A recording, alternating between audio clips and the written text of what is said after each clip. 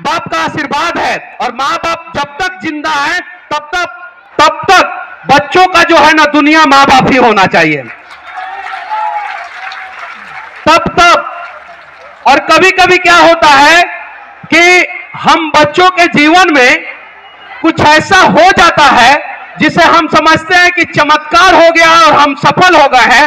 नहीं, हम मूर्ख हैं। कहीं नहीं तो कहीं हम लोगों के माओ का आशीर्वाद और पिताजी का आशीर्वाद ऐसा हो जाता है कि हम अपने जीवन में सफलता को चमत्कार समझ बैठते हैं।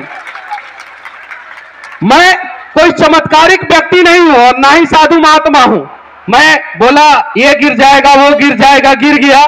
वो मेरे वजह से नहीं गिरा। नहीं नहीं नहीं नहीं।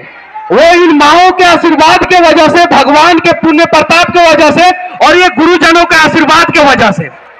तो आप भरोसा कीजिए मुझे इनमें भगवान दिखता है, मुझे इनमें भगवान दिखता है। आप लोग भी इन लोगों में भगवान देखने का प्रयास कीजिए। आप लोगों को जो है भगवान दिखेगा। अगर हम अपने अंदर के भगवान को लेंगे अपने अंदर के भगवान को तो हमें सबके अंदर भगवान दिखेगा। महाराज जी आ रहे हैं। आ, शायद से लैंड हो रहा है उनका हेलीकॉप्टर। शांति से आप लोग देखिएगा।